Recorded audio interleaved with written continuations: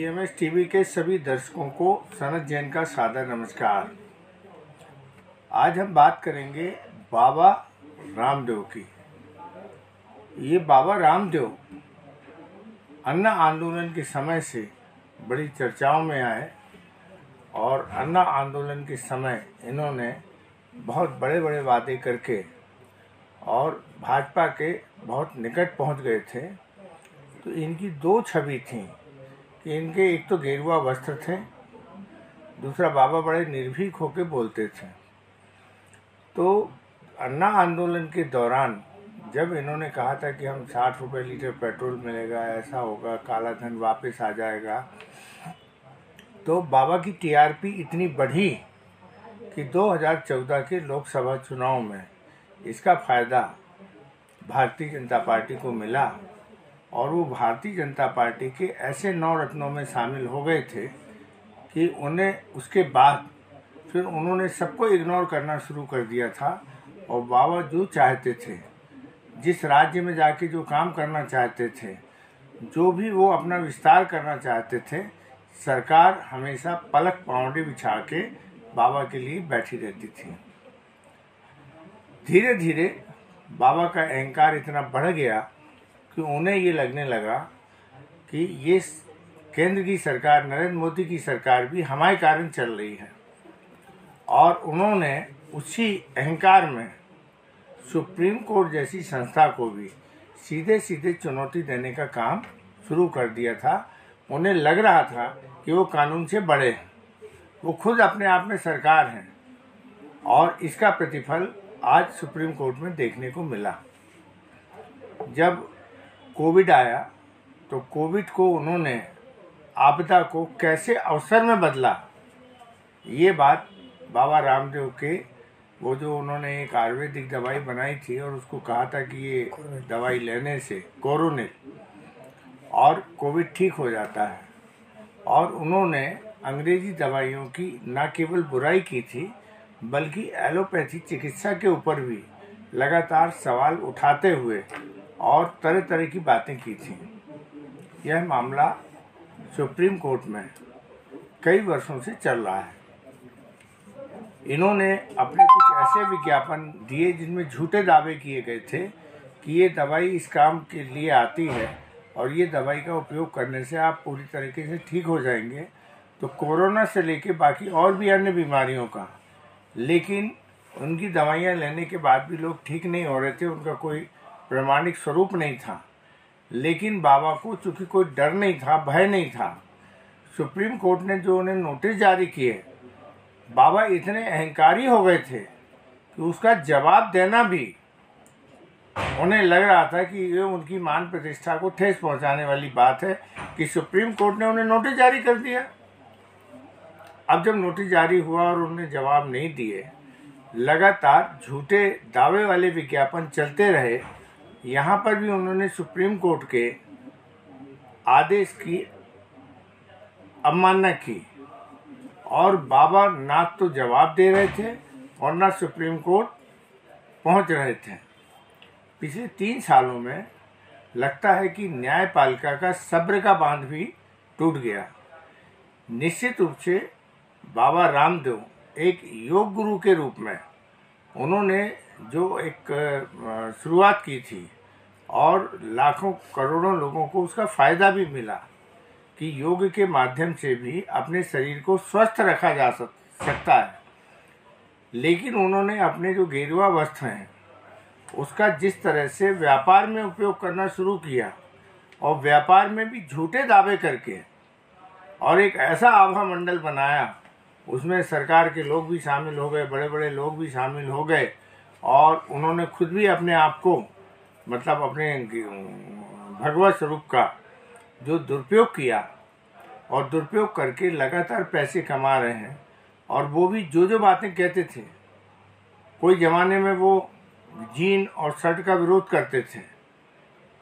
कैसे पहनावा होना चाहिए, कैसे स्वदेशी की बात करते थे, कैसे काले धन की बात करते थे, कैसे सस्ते पेट्रोल, डीजल की बात करते थे, वो सब बाबा भूल गए। बाबा दावा करते हैं, एक अपनी टीआरपी बनाते हैं और उसके बाद फिर लोगों को मूर्ख बना के पैसा कमा के आगे निकल जाते हैं। आज सुप्रीम कोर्ट ने बाबा रामदेव और उनके जो बाल किशन जी हैं, उनको उनकी औकात दिखाती। उन्होंने कहा, कानून की ताकत कैसी होती है, ये आप जान लें अवमानना का केस था। इन्होंने हाथ जोड़कर सुप्रीम कोर्ट के सामने क्षमा मांगी। लेकिन सुप्रीम कोर्ट ने क्षमा देने से इनकार कर दिया। उन्होंने कहा, एक हफ़्ते के पहले, एक हफ़्ते के अंदर शपथ पत्र देकर, पहले तो जो पुरानी बातें हैं, नोटिस के जवाब हैं, ये सब आप इन चीज़ों को कीजिए। अवमानना का मामला चलता रहेगा। इस पर हम विचार करेंगे कि हमें क्या करना है। लेकिन जो बिना शर्त या शर्तों के साथ जो माफ़ीनामा पेश किया गया था, उसे सुप्रीम कोर्ट ने पूरी तरीके से खारिज करते हुए यह कह दिया है कि नहीं बाबा, अब मानना तो ये जो प्रकरण है, ये चलेगा। अब आप, सुप्रीम कोर्ट ने जो आपको निर्देश जारी किए हैं, पहले उनका पालन करिए, कानूनों का पालन करिए। तब हम इस पर सोचेंगे कि हमें आगे इस पर क्या करना है। आज सुप्रीम कोर्ट ने केंद्र सरकार को भी बड़ी लताड़ लगाई। आज केंद्र सरकार का रुख बाबा के प्रति कैसा था, ये स्पष्ट हो गया। कोरोनिल दवा और ये दूसरे मामलों में जहाँ इनकी दवाएँ और अमानक पाई गई और केंद्र सरकार ने कार्रवाई करने के स्थान पर केवल चेतावनी देके इन्हें छोड़ दिया था।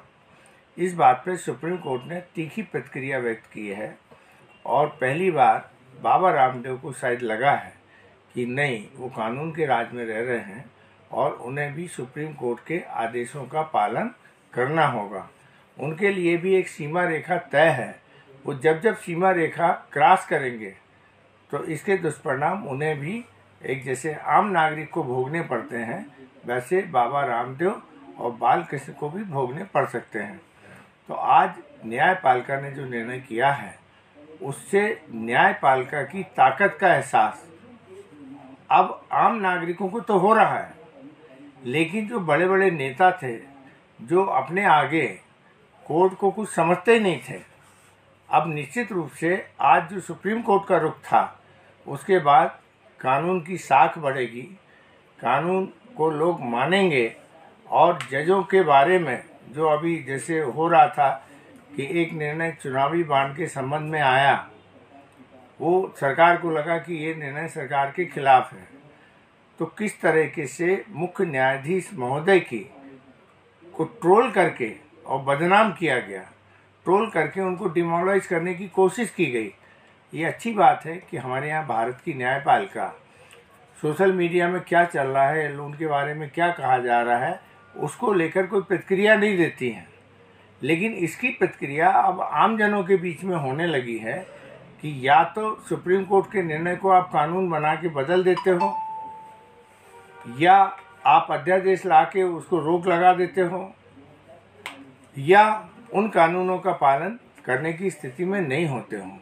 और अभी जो चुनाव बांड को लेकर जो सुप्रीम कोर्ट का आदेश दिया था और जिस तरीके से सुप्रीम कोर्ट के जजों को ट्रोल किया गया है तो भारतीय जनता पार्टी के जो एक ट्रोल आर्मी है उसमें सरकार का तो कुछ लेना देना होता नहीं है, लेकिन जो उनके समर्थक हैं और जिस तरीके से न्यायपालिका को ट्रोल कर रहे थे, मेरे ख्याल से आज का जो निर्णय है और जो सुप्रीम कोर्ट की नाराज़ी थी, जो सुप्रीम कोर्ट का रुख था तो एक ऐसा संदेश है कि लोग कानून का पालन करें, न्याय के प्रति आस्था रखें और न्यायपालिका के प्रति आस्था रखते हुए काम करें, ये कहीं ना कहीं से संदेश हो गया है।